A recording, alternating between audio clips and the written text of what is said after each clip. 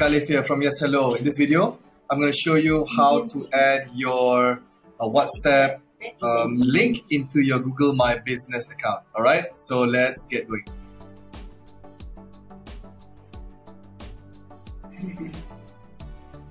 Alright, so first of all, you want to uh, open up your Google My Business account. So if you don't have one yet, uh, you want to check out our tutorial on how to create your Google My Business account. Um, next, you want to uh, update your online appointments link over here, right? So you want to click on uh, yes, you want to add online appointments. Now you want to add a link there. So what we're going to do is we're going to add our WhatsApp link. So how do we do our and create our WhatsApp link? Very simple.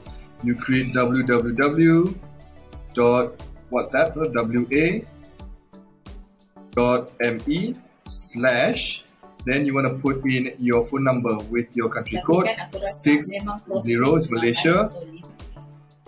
1499033735 so this is our number this is our appointment link. So now we have a link straight into our WhatsApp. So um, you don't even need the www just go wa.me slash and then you click on done. So now I have um, our WhatsApp number connected to the Google My Business. Let's take a look.